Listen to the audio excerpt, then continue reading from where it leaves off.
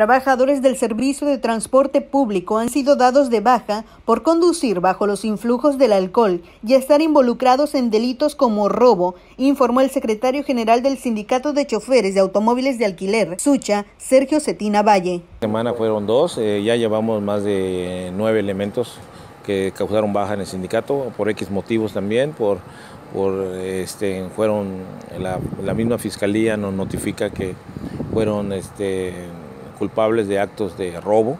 Entonces ahí el sindicato de una manera pues ya toma determinaciones. Yo tengo que cuidar a los taxistas, pero hasta cierto grado.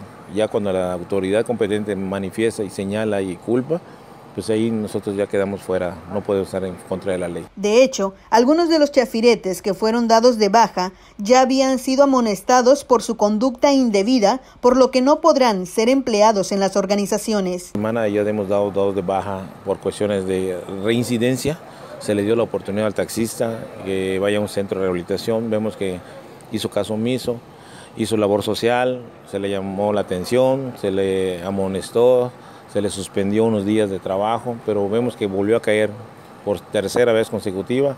Entonces, lamentablemente, Honor y Justicia determinó que ese compañero no puede pertenecer a la organización, la cual me notificaron que fue dado de baja y fue retenida su licencia para que no preste el servicio en un servicio en un vehículo de servicio público. El delito más recurrente cometido por exmiembros del Sucha es el robo, aunque también se dieron casos de lesiones y narcomenudeo, aunque a baja escala, depuración que continuará para blindar el gremio de la delincuencia. Para Notivisión, Rosy Dorado.